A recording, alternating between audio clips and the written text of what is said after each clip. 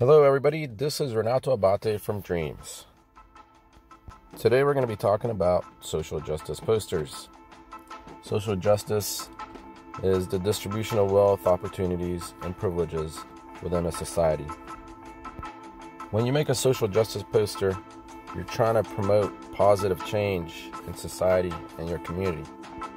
Let's look at some of these posters and get some ideas. This is a really good one.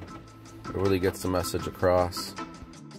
I really like this poster. It's different, it's bright, it seems positive.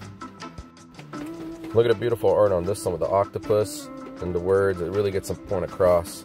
This one with the lines and the color, boom. War is not the answer. This one's awesome. No human is illegal. I believe that. Fight the power. No justice, no peace. I like how this one pulls back the curtain on some truth. Here's an historical one. It's about 80 years old. Now, keep the immigrants, deport the racists. This one's really bold. I love the use of line, it just draws you in. Feeling about this one love, peace, life, justice, freedom, and equality.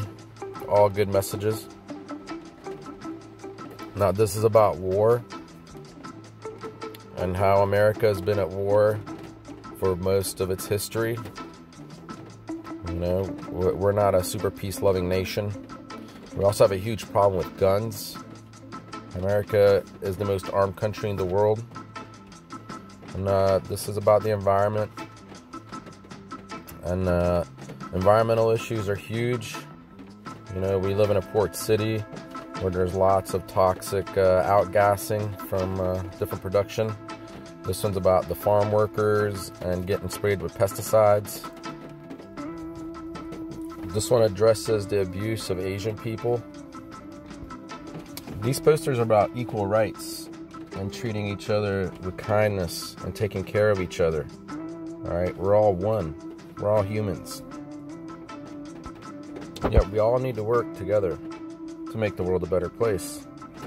Serving each other to make a better community.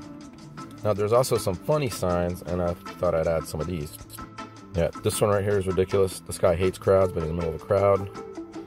And uh, this person right here, I'm a little upset. you want to have a clear message. Use humor and wit. Keep it simple. Remember, the presentation matters and be passionate. I'm passionate about the environment and air quality where I live.